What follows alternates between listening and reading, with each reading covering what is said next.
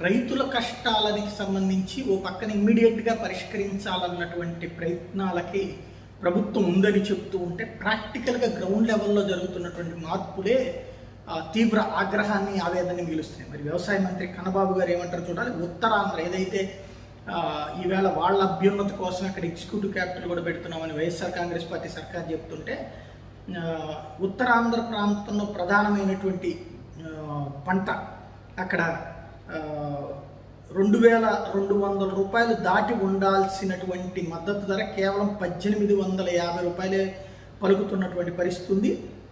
గతేడాది ప్రైవేటు వ్యక్తులు కొనేవాళ్ళు కాబట్టి రెండు వేల రెండు వందల నుంచి రెండు వేల మూడు వందల రూపాయల వరకు అమ్ముకున్నటువంటి పంట కాస్త ఇప్పుడు ప్రభుత్వమే కొంటదని చెప్పి నెలల నెల రోజుల నుండి పంట దాస్తున్నటువంటి వేళ ఎదురవుతున్నటువంటి ఇబ్బంది. పద్దెనిమిది వందల యాభై రూపాయలు మద్దతు ధర కోసం ఎదురు చూడలేక కొంతమంది పదమూడు వందల రూపాయలకే అమ్మేస్తున్నటువంటి పరిస్థితి ఈ జొన్న పొంది విజయనగరం శ్రీకాకుళం జిల్లాల్లో రైతుల పరిస్థితి ఇది మద్దతు ధర పెంచి కొనుగోలుకి వెంటనే ప్రయత్నించకపోతే తీవ్ర ఇబ్బంది పడేటువంటి పరిస్థితి ఉంది వర్షాలు పంట కొంత మేరకు పోయినాయి మొదట్లో.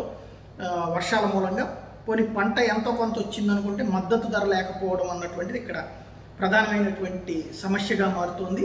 ఈ నేపథ్యంలోనే ఈ జొన్న పంటకి సంబంధించి ఇంకో పక్కన ఇదివరకు అయితే పక్క రాష్ట్రానికి తీసుకెళ్ళి అమ్మేవాడు తెలంగాణలో. ఇప్పుడు ఇప్పుడు ఉన్నటువంటి కొత్త చట్టం ప్రకారం అట్లా అమ్ముకోవచ్చు. తీరా చూస్తే తెలంగాణలో అసలు పంటే వేయొద్దని అక్కడ కేసీఆర్ పిలుపులిస్తున్నటువంటి సందర్భంలో ఇక్కడ రైతాంగానికి మరింత కష్టమైంది. మరి రాష్ట్ర ప్రభుత్వం ఏమన్నా దీంట్లో చొరవ తీసుకుంటుందా లేదా అన్నది చూడాల్సింది